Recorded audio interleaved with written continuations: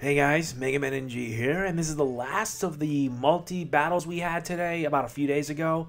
I team up with Mike while Pokemadness teams up with Sam. Links are in the description for their YouTube channels. Make sure you guys check them out. They do great content, and we're about to get this show started. Now, Sam's a really interesting one you're about to see for yourself. Anyway, the battle starts off. Sam sends in Togekiss, and Pokemadness sends out Swellow.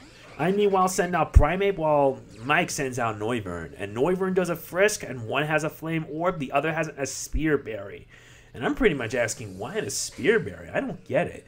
Doesn't matter though, because Graceful pulls a Protect while Noivern goes for the Hurricane. Unfortunately, Hurricane missed, but I go up for a Rock Slide, and it does hit Togekiss. Sadly, however, it doesn't do much damage. Togekiss goes for the Air Slash, and it misses, and I'm like, yes, lucky. But sadly, Graceful goes for the facade and takes down Noivern in one hit. Ouch.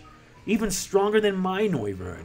I go for a Rock Slide hoping to do a lot of damage to both Pokemon, and it does, more than half. But Jylin goes for the Air Slash and another miss, and I'm like, yes, this is actually too good to be true. But either way, Mike sends in his Metagross, and yes, I have a Metagross myself, but that's not the point. Graceful goes for the Facade, and Facade takes down Primeape. Ah well, at least he did his job doing damage with Rock Slide. Jay Flynn goes for the Air Slash, and this Togekiss is actually Serene Grace, which means it'll flinch. But sadly, it didn't work, and Metagross goes for the Meteor Mash, and it takes down that Togekiss. Due to it being part Fairy type in Gen 6, that's super effective for sure. Unfortunately, however, Graceful only has one turn left before it dies from its burn. I send in my Manectric while Sam meanwhile sends out his Krookodile, which is pretty nice. However, it goes for the Intimidate, but Metagross's clear body prevents stat loss. Unfortunately, my Manectric suffers an attack drop, but I have to make a switch because I'm not going to get hit by that facade. And I make the switch to Sceptile, and Graceful does go for the facade, and Sceptile goes down in one hit. And he gets a crit, and that's rather unnecessary. Not that it matters because next turn, Swell is going to go down. However, the Earthquake kicks in and it does damage to Metagross. My guess he was predicting that I would, my Manectric would stay, but it wouldn't. And Metagross goes for the Hammer Arm, which does a lot of damage, but it lowers its speed. And Graceful goes down. Bye-bye. Bye-bye. He's already down for the count anyway. anyway, let's see what he's about to bring out next. Oh, yes, beautiful. The Milotic. This is going to be a joy. While I, meanwhile, send out my Manectric. I'm done playing around at this point. It's time I Mega Evolve. And it's quite funny because I'm the only one of the teams that have it right here that has a Mega Evolutionary. So I evolve into Mega Manectric, which lowers attack to both Milotic and Krookodile. However, that ended up being a side effect thanks to competitive, which boosts Milotic's attack by two stages.